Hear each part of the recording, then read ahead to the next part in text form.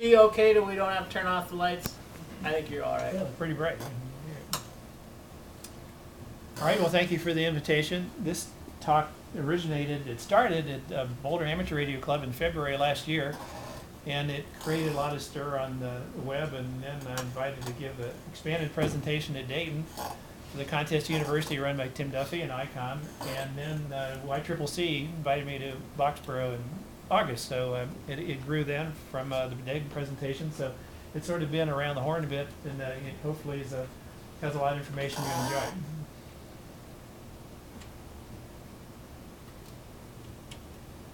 If the, You're doing well Hit- over hit- there. hit- aren't an engineer. well, that's, that's the, uh, hit, hit the, up- go to the first page. It's a hit the, uh, slideshow, there you go. you? How's the software guy? Oh, well. Well, that's all there was, so see you later.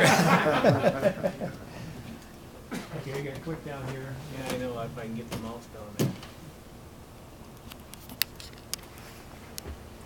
It should go page up, page down. Yeah, right, exactly, right. Space bar usually works too. Right arrow. There we go. Okay, so why did I start testing radios? Well, I didn't wake up one morning and say, I think I'm gonna test radios. Uh, I actually owned a Drake R4 and uh, doing that since I was in high school. And I bought an R4C and it got a good review in QST.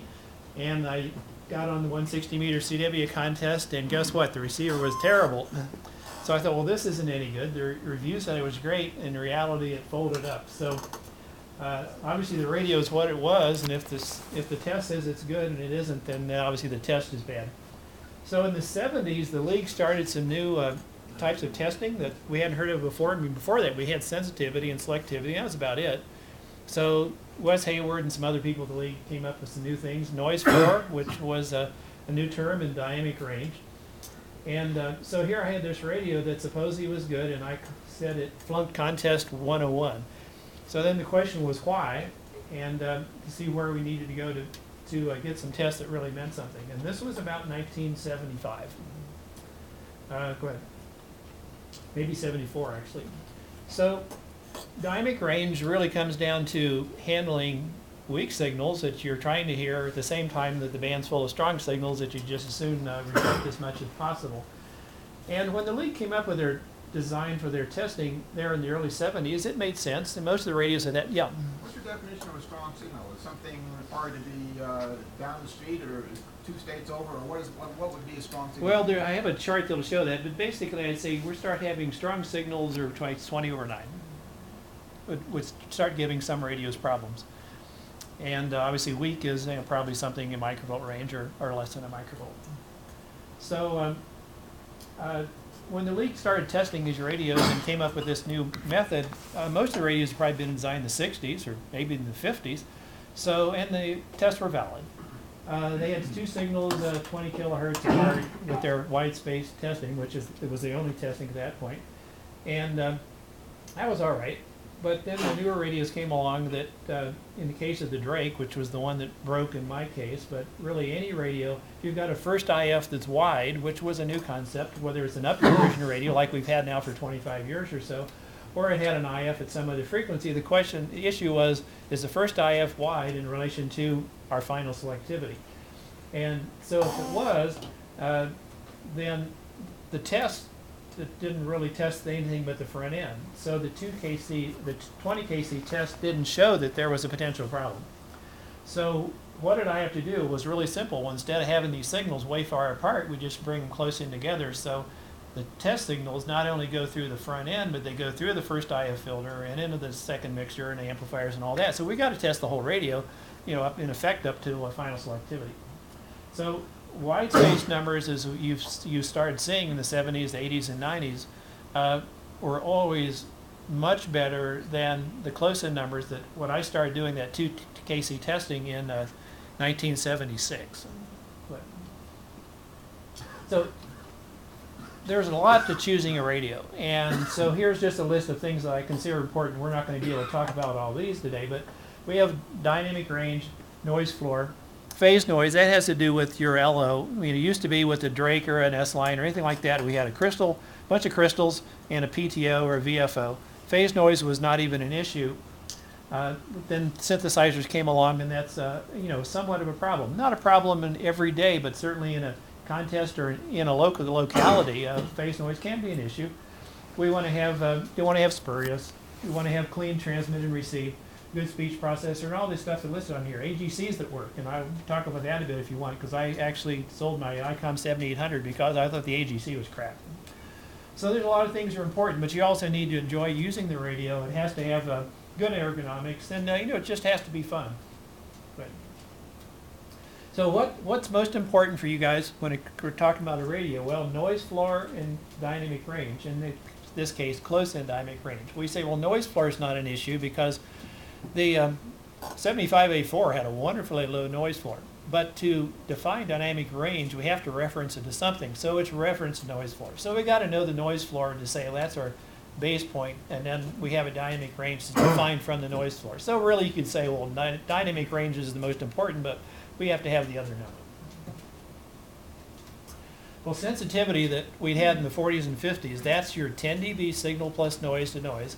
And that's what we've had forever, and we still, that's still listed, of course, in all the specs. So how do we measure sensitivity if you've not had a signal generator or done it yourself?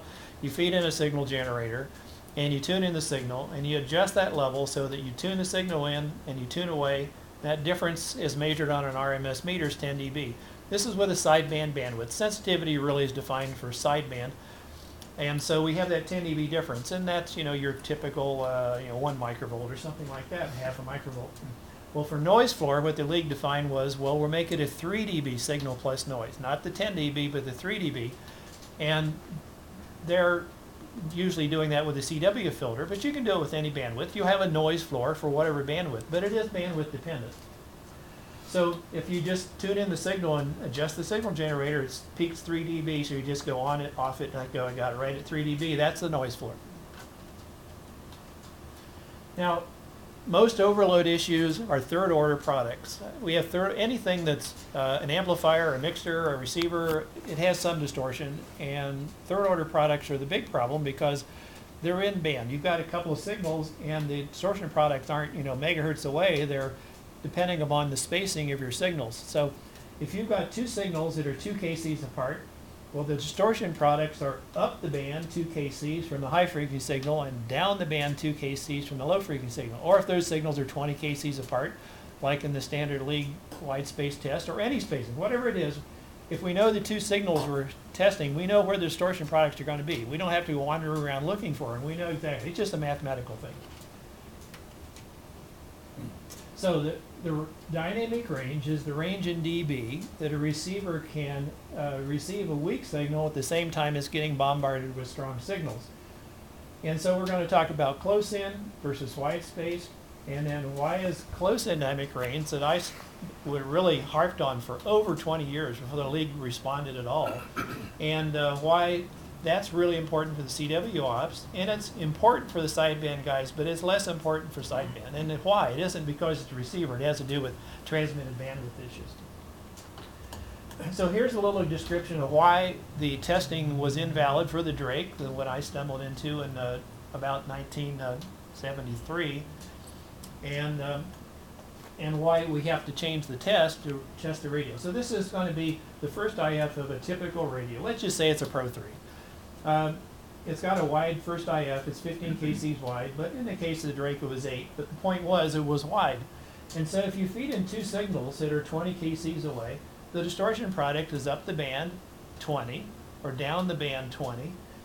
And so we know where it is. We can see if that 15 kc filter, it's only a four pole filter, let's say, but well, if one signal is 20 kcs away, well, that filter is going to knock it down a lot.